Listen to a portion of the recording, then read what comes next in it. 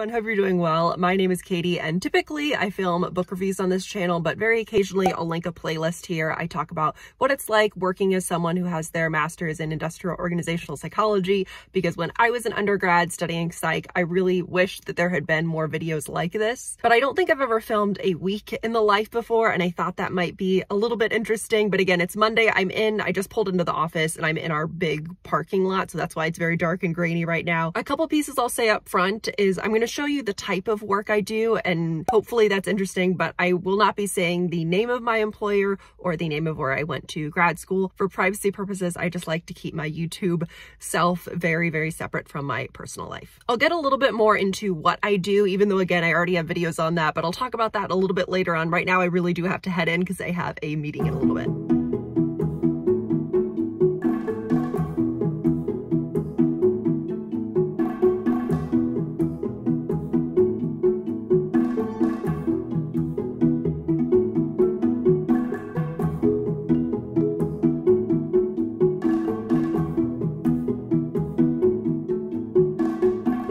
So it is now 1.30. I've had two calls and I've got another one coming up in a little bit. Wouldn't it be, I wish that I had this nice big office, but no, this is just a room you can pop into. You all saw my cube a little bit earlier on. But I wanted to take a second to talk about what the workday has been like to first just explain exactly what it is I do. I explain this much more in a detailed video I will link down below. So please, if you're interested in different types of jobs in, in, in IO psychology that you can get, please check that out because it would take 10 solid minutes to explain in a video. But the specific area of IO psychology that I work in is really learning and development and culture. I work for a consulting company, so I work with clients on learning and performance. So it could be that employees or managers need help or training on how they coach their employees. It could be that they're having communication challenges, so they want personality assessments sent out and for me to facilitate a workshop.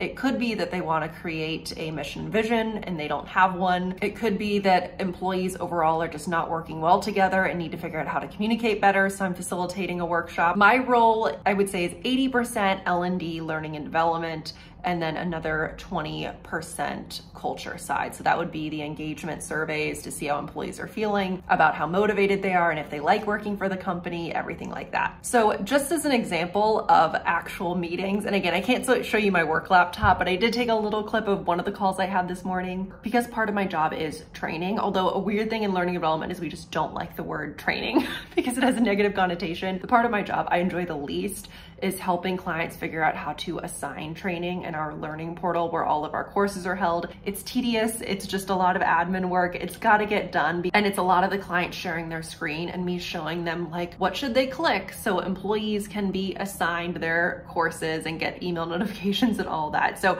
you know, IO psychology, I think on the surface might sound kind of cool, at least it did to me in undergrad, but regardless of your job, you're obviously gonna have a lot of kind of shittier admin work that you have to do. So then we had our internal team meeting. So again, I'm a consultant, so I'm on a team with my peers and we talk about our clients, but then the actual work I do day to day, who's it for? It's for the clients. And then the call I just wrapped up was really interesting. I'm working with a um, small company in New York City and they really want to launch a climate survey or an engagement survey, you know, which is anonymous. So employees can mark how they're feeling. Are they happy? Do they need anything? Um, and then they also want an all staff workshop. And they, what I facilitate on is DISC, if you're familiar with that. And then they also want a workshop on growth mindset. When you work in learning and development, it can vary a lot. Sometimes you have workshops you can just download and facilitate on, which I have some of. But for example, something like growth mindset, I don't have a training on that. So I would have to create it from scratch. So we typically have to schedule out those workshops by a couple months. I now have in another 30 minutes, another one of those calls where I'm just helping them assign training in our learning portal. So that's not the most interesting thing. So I probably won't talk too much about that. But tomorrow is kind of exciting because I am traveling to Connecticut. I'm, so I'm taking a train on Tuesday to get to New Haven, Connecticut that evening and then Wednesday I'm facilitating a workshop and then Wednesday evening I will come back home. So it's kind of an interesting, entertaining week. So I thought that's why it would be a fun one to show. Yeah.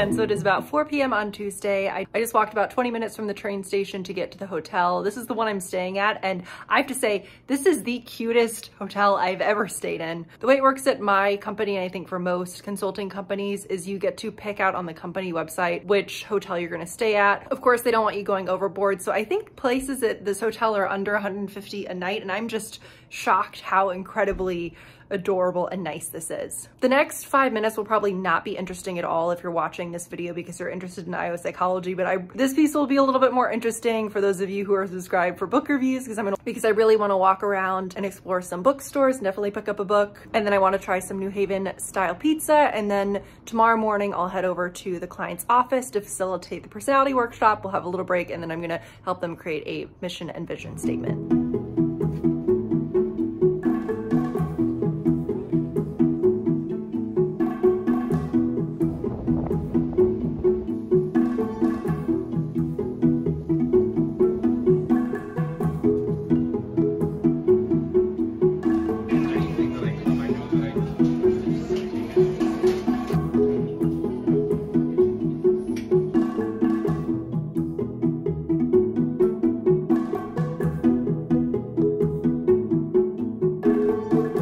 Morning, everyone. It is about nine o'clock on Wednesday, and I'm gonna leave in about 20 minutes. My first workshop I mentioned is the personality assessment workshop, and that's 12 p.m. to 1.45, 15 minute break, and then about 2 p.m. to 4 p.m. We're gonna help create their mission and vision. I say we, I mean me. Um, and then I have the train back home at 4.30 p.m. I'm just here practicing. I don't wanna show the laptop fully because it says the company name, but there's my laptop. I'm just here practicing a little bit, have my clicker. The personality assessment workshop I could do blacked out or in my sleep. I've done it so many times, but this is my first time since the pandemic doing a mission and vision workshop. So I've got a little bit of first time jitters. Um, I'm gonna leave here fairly soon because I told them I would get there around 10 o'clock just so I could meet leadership and also I have to like write some things on these giant sticky notes just to get ready for the workshop so I can have people get out in um, breakout groups and everything like that. So I'm gonna head out pretty soon, but wish me luck.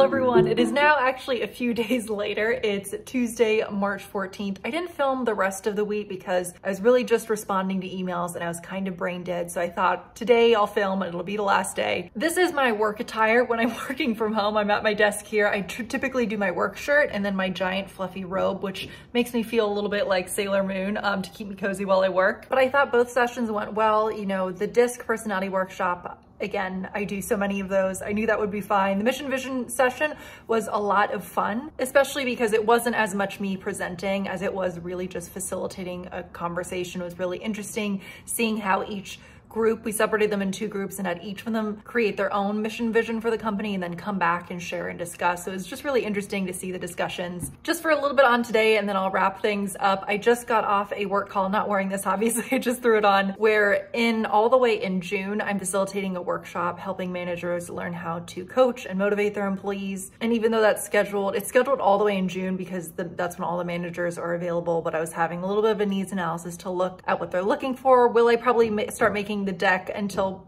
probably May. And then I just have another couple calls with clients later today, but nothing really too different or new from what I've mentioned before earlier in the video. Again, as I mentioned, I'm gonna have link down below, so please go ahead and check out the description box. Past videos where I probably answered other IO psychology related questions you're thinking of. Of course, you're welcome to comment more questions down below. Please let me know your experiences, your questions on school and work. But again, I might have already answered those in other videos, so I will link that down below. But I hope that this was was helpful to those of you who maybe are thinking about pursuing a degree in IO psychology to give you a little bit of a flavor of just one type of job that's available underneath the entire umbrella of IO psychology. But I hope you all are doing well and I will see you in the next video, which will probably be a book review back to my normal content, not related to this type of work. But I'll see you all in the next one. Bye.